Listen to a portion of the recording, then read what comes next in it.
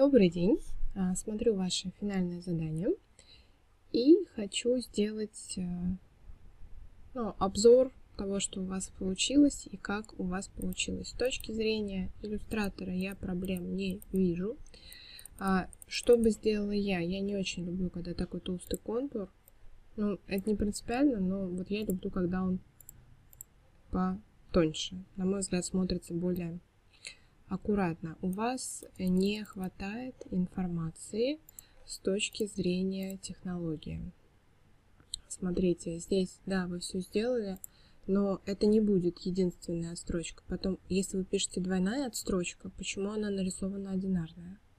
Нарисовать нужно ее, соответственно, двойной. Потайная молния в шве. Как правило, молния делается в левом шве. Здесь как будет обработано, где отстрочки по горловине. Здесь как будет сделано, наверняка тоже будет тонкая отстрочка.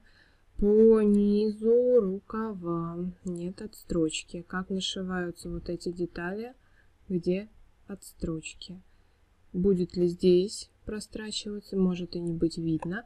Здесь она пришита по низу, как она отделана. Что там у нас? Там подгибка, подоверлок, там просто подгибка, что там происходит. Этой информации не хватает. Спинку так делают иногда, но, как правило, делают еще центральный шов, то есть это вот такой элемент надо а, подумать. Выточки понятно, выточки как раз особо можно и не подписывать. Здесь вам не нужны дополнительные две выточки по конструкции, чтобы лучше садилась она.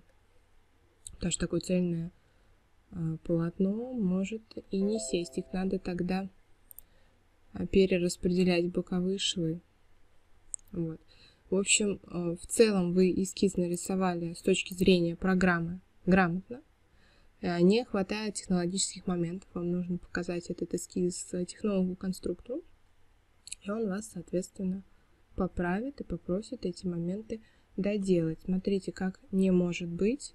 Вы рисуете сзади стоечку. Здесь она у вас узкая, здесь широкая.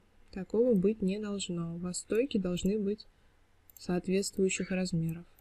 То есть, если здесь рисуете такую стойку, здесь рисуете ее такую же. Либо как-то она у вас там волшебным способом трансформируется, это надо тоже будет указать.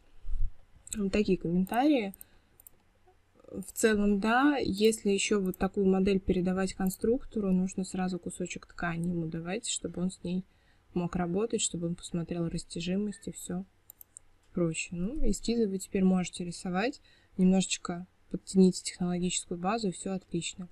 Переходим на блок по заливкам.